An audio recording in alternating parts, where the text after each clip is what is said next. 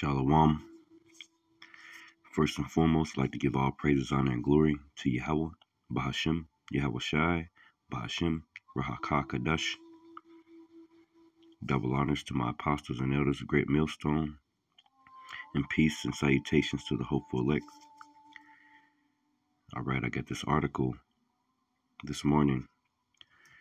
It says, uh, people I follow on Twitter actually, End Times headlines, and they bring a bunch of good information, you know, and we're considered watchmen, so we're constantly watching to see what's going to happen next.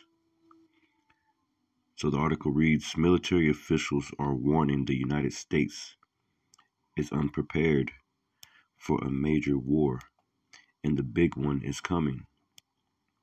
Yeah, the big one. What's that? World War Three. Okay.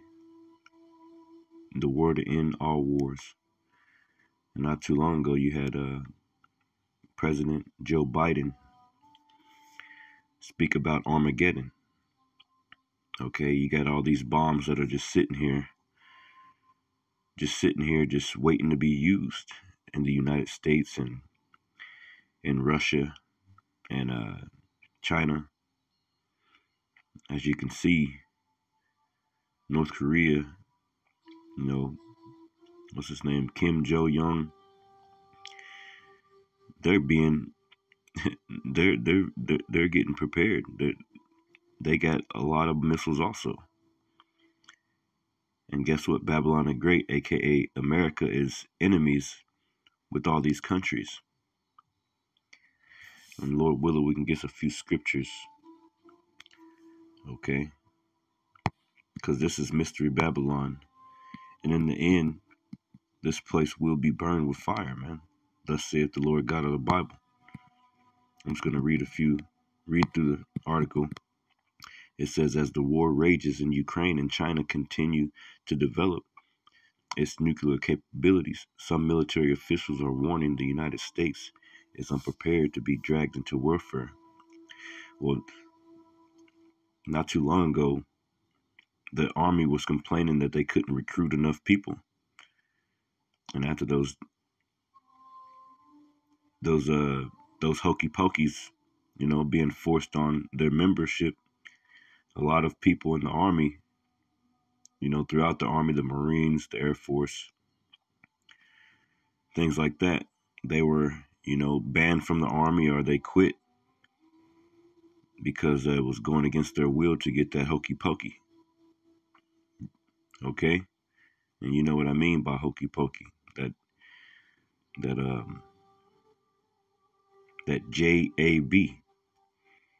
Okay? And they lost a lot of people because of these things, okay? Now they're trying to recruit to bring back more people, okay? But they're not going to get the people that they want. That's that. That's why they're resorting to things like robots, different drones, okay? Because this war is going to be totally different than the past wars. They're going to use robots and things like that to, to get the job done instead of people because people aren't going to want to fight for them. It says the the warnings come after it was reported in October. Okay. That's where I'm at, just in case you lost it. That America's military had become weaker over the last several years and is at risk of not being able to respond to outside threats. The Heritage Foundation, in its 2023 Index of the U.S. military strength, noted that the military is weak. Look at that, man. The military is weak. And why is the military weak? Well, Babylon the Great is weak. Did not you see Joe Biden fall up those stairs? Eating ice cream, kissing on little kids, yeah, man. This place is weak. The people are weak. Everything is fake. Fake boobs, fake titties. You know, it's the same thing. Fake booties, fake lips, fake everything. Fake face, fake uh, people on Facebook living a life that they're not really living. acting like they're happy, but they're not. Everything is fake here, man. Okay? Fake everything. You know, you got all types of uh, filters so you can act act like you're prettier than you are. Everything is fake in America. Okay? And it's weak. Okay? Let me look up that word weak real quick. Weak.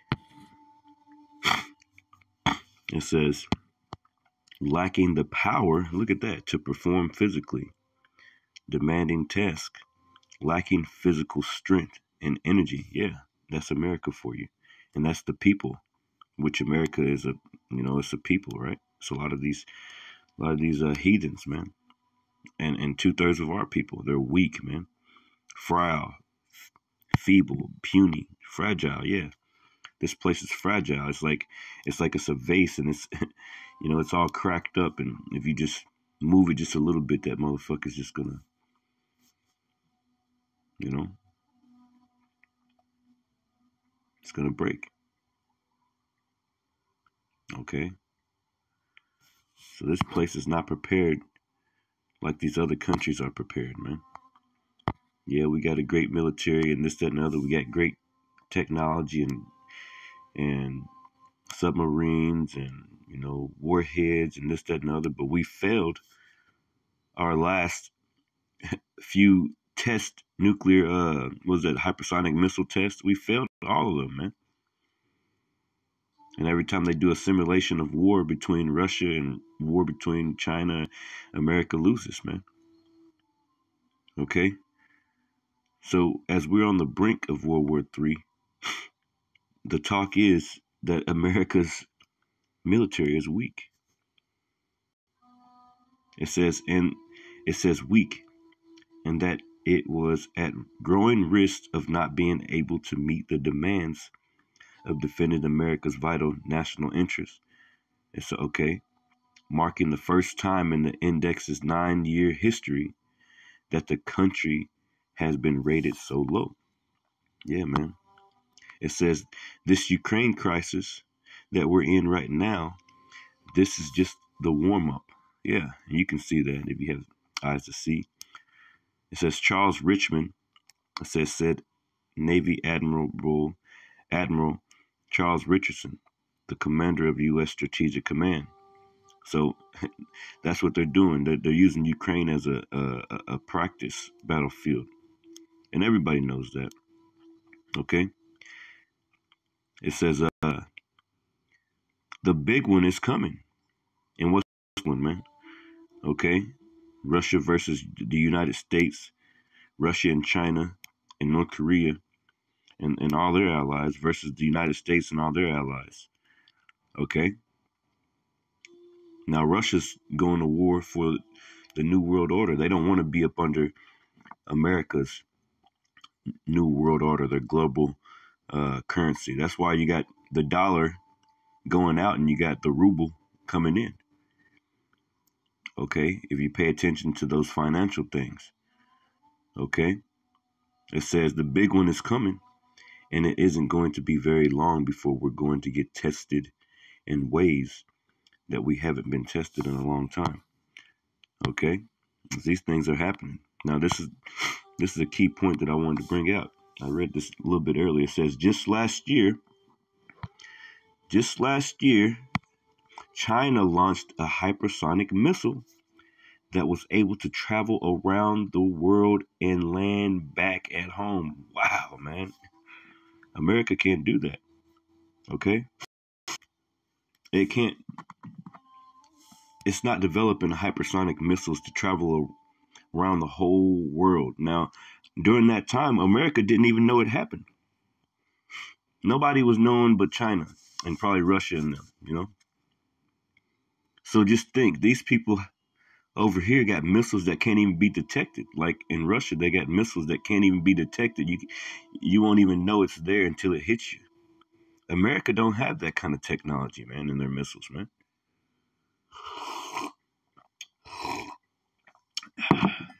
Oh man, some good tea, bud. They don't have that kind of technology. Let me read that again. Just last year, China launched a hypersonic missile that was able to travel around the world, man, and land back at home. The revelation had made clear that America was falling behind, raising questions about how we are going to mitigate our assumed eventual failure, Richard said. He also said, as I assess our level of deterrence against China, the ship is slowly sinking. Now, this is a U.S. Navy admiral saying this about his own country and his own um, military force. He says their ship is sinking.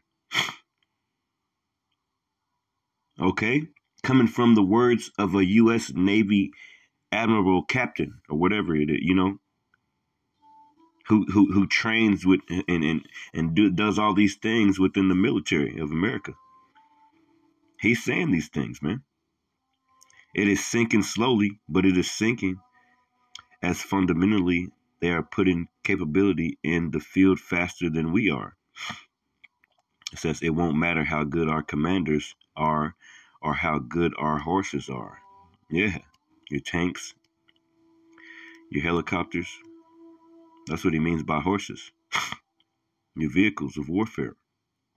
We're not going to have enough of them, and that is a very near term problem. So, as you can see, man, yeah. It says Richard noted the U.S. continues to have an advantage with its submarines, but even that may decrease in the coming years if the country doesn't begin addressing its maintenance problems and necessary construction source. It has a source here where this is coming from. but yeah, pretty much, man. Yep, that's the source right there. And and I follow these guys on Twitter, you know, and on on Instagram because he's constantly up to date on everything, man. We can go to his page and uh, go to his page and, and check things out, you know. Um, so basically, man, hey, America is not ready, man, you know? And it's all the will of the Lord Yahweh Shai to, to bring Babylon the Great, okay, to its knees, okay? Okay?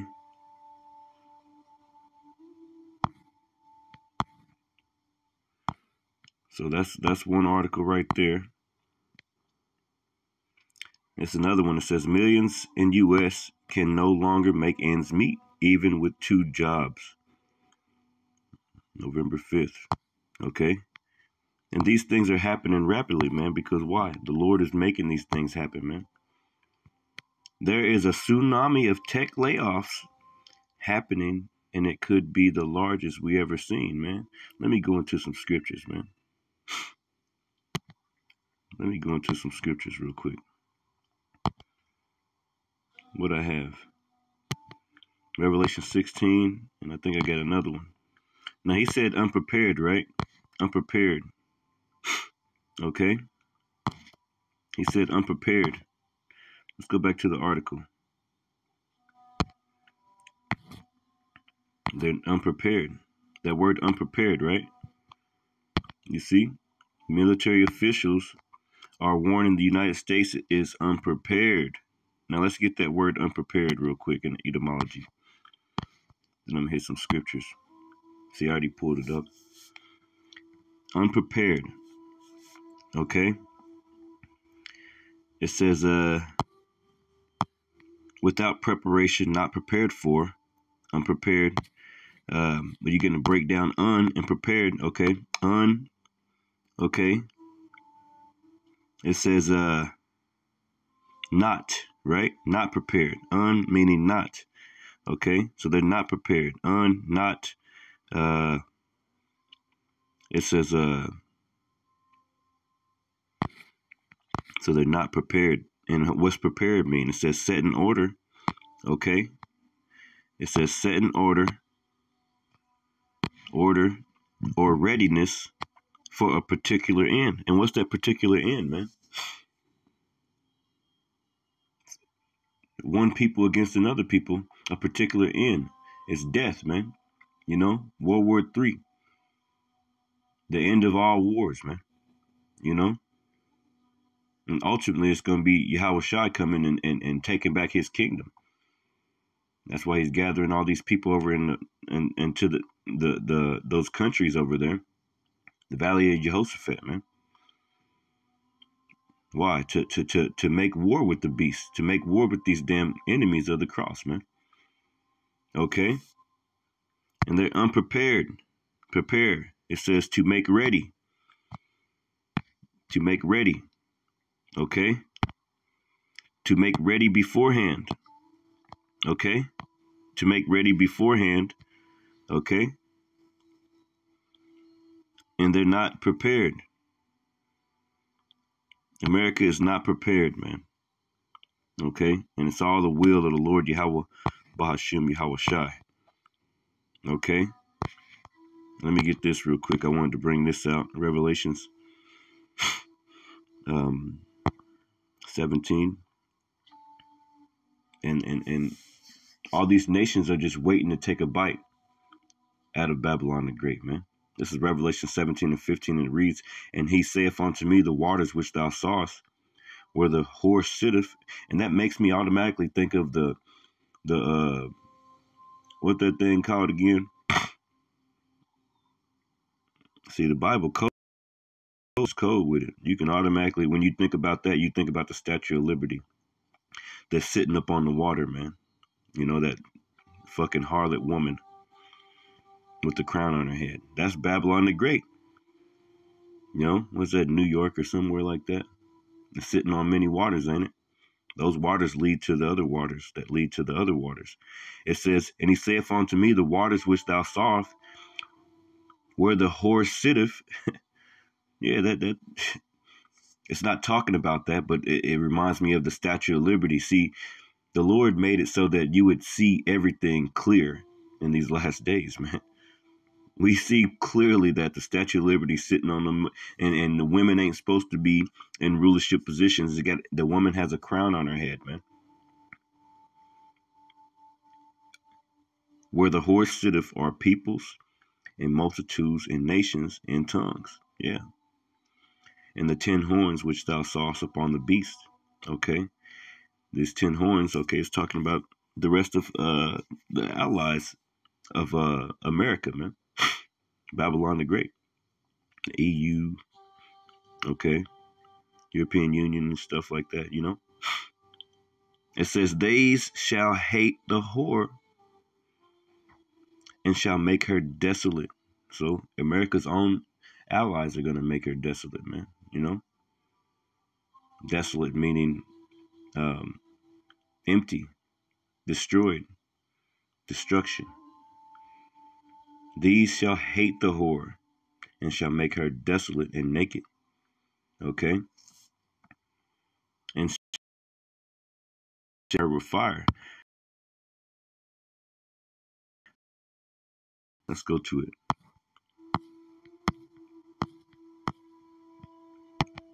Desolate.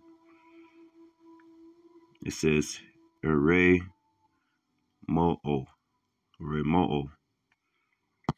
Strong's G 2049. It says to make desolate, lay waste, to ruin, bring to desolation, to despoil one, strip her of her treasures. Yeah. Who's her? America, aka Babylon the Great. Okay.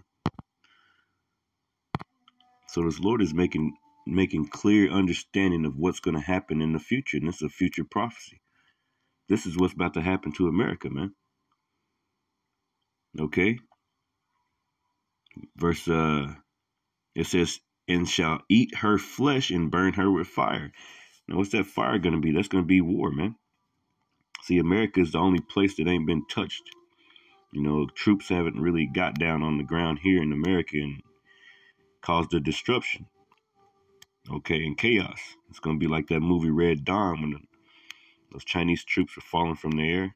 Yeah, they don't make these movies for no reason, man verse 17, it says, And Yahweh hath put in their hearts to fulfill his will. Okay? And what's the will of the Lord? To destroy Babylon the Great, aka America, aka Rome 2.0, for the controversy of Zion,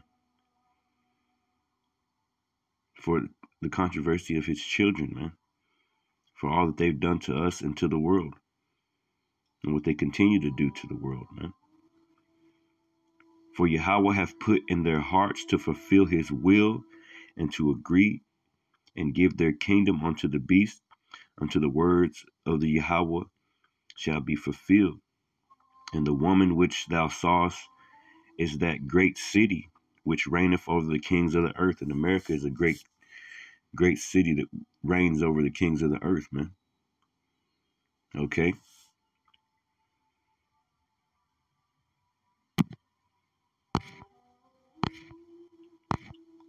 I had one more. I, I, was trying to figure out one in uh, Revelation six. There's all types of things you can you can go into about these damn devils, man. I'm trying to be specific.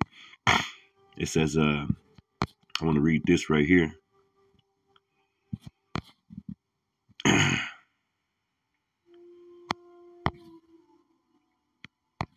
yep, I'll, I'll read that. It says, Revelation 16 and 15. It says, Behold, I come as a thief.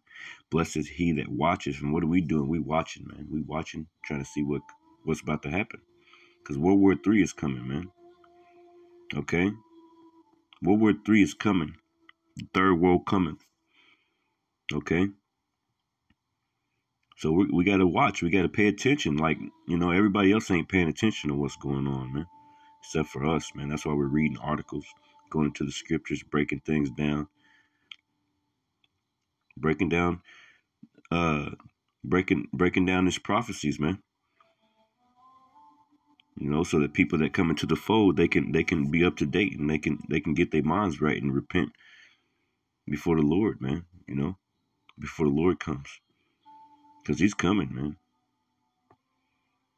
Behold, I come as a thief. The Lord said He comes as a thief in the night, man. Blessed is he that watcheth and keepeth his garments, lest he walk naked and they see his shame and he gathered them together into a place called in the Hebrew tongue Armageddon. Now that's what Biden said not too long ago. Right? The Lord is gathering all these nations together, man, to to to to bring destruction on them all at the same time. Okay? All of them at the same time, man. This is uh Revelation 16 and 19. And the great city was divided into three parts. And the cities of the nations fell, and great Babylon, aka America, came in remembrance before Yahweh, the Most High, to give unto her the cup of the wine of the fierceness of his wrath. So the sins of this place is reaching up into the Lord's nose, man. Okay?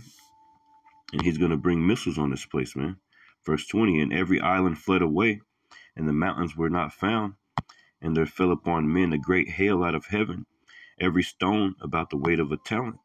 And men blasphemed Yahweh because of the plagues of the hail. And the plagues, therefore, were exceedingly great, man. Yeah.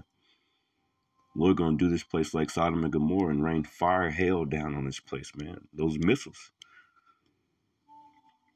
Okay? The Lord created the smith that blew up the coals in the furnace, right?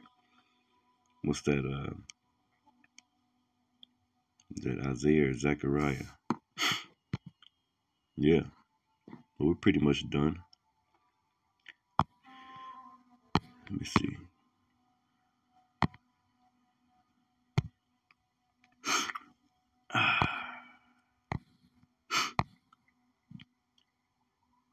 yeah, man. The Lord is doing all these things, man. Isaiah 54 and 16, it says, Behold, I have created the smith that bloweth the coals in the fire, and that bringeth forth the instrument for his work. Okay, so the Lord created these missiles. He created the science behind it. He created all of it. Why? Why did he do that? So that this day that's coming, the great day of the Lord, he created it for the great day of the Lord, man. He created it for this time that we're coming into, for World War III. He created it so these devils can can can kill themselves. Okay? Now those missiles ain't just sitting there for no reason. Okay.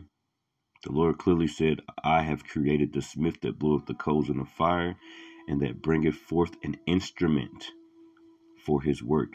What's that instrument? Nuclear warheads, man. So with that, I'd like to give all praise, honor, and glory to Yahweh Bashim Yahweh Shai. Hopefully this message was edifying. Shalom.